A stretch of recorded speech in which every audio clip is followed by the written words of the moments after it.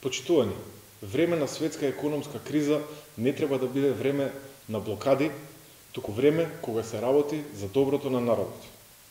Опозицијата во собранието, предводено од ВМРО ДПМНЕ, мора да почне да се однесува конструктивно, затоа што во спротивно ќе ја понесе одговорноста пред 18.000 тутунари кои ги чекаат субвенциите за тутунот. Ќе ја понесат и одговорноста и пред 10.000 сточари кои ги чекаат субвенциите за добитокот. Ова се реални потреби на нашите земјоделци во период кога целиот свет се соочува со недостиг на храна. И додека опозицијата прави обструкции директно на штета на граѓаните, владата продолжува со сите можни механизми да им помогне на граѓаните да се ублажи ударот од светската економска криза. Владата, начело со премиерот Димитар Ковачевски, спроведува инвестициски бум во земјоделството. Националниот план за производство на храна ги покажува првите резултати.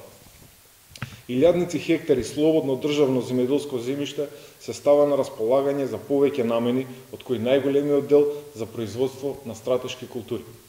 Интервентниот фонд веќе започна со првите исплати, односно за набавено вештачко ѓубре беа исплатени 15 милиони денари на над 1000 земјоделци се активираа со целиот свој потенцијал мерките за финансиска поддршка за модернизација преку поддршка за набавка на трактори, мерка за која интересот е максимален, како и останатите мерки за кои јавноста е редовно информирана.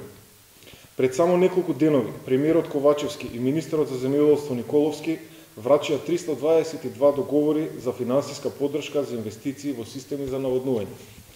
Најавени се и 4 нови мерки во интерес на земјоделците се обезбедуваат дополнителни 3 денари по килограм за оризова арпа продадена во регистрирани капацитети за откуп. Се обезбедуваат 3 денари по килограм за јаболка предадени во преработувачки капацитети. Се обезбедуваат дополнителни 3000 денари за женски приплодни грла маторици кои се одгледуваат во одгледувалишта и исполнуваат услови за биосигурност. Исто така се поддржува и договорното производство за сончевјата. Поддршката е активна буквално во сите подсектори. Малите семејни винари го бележат својот развој токму од владата предводена од СДСМ. Викендов 59 мали винари добија грантови до 10.000 евра во вид на неповратна поддршка за набавка на опрема за производство на вино. Продолжуваме да работиме посветено во интерес на граѓаните, особено на земјоделците, кои имаат најблагородната задача во општеството, а тоа е да произведат храна. СДСМ е тука за сите вас.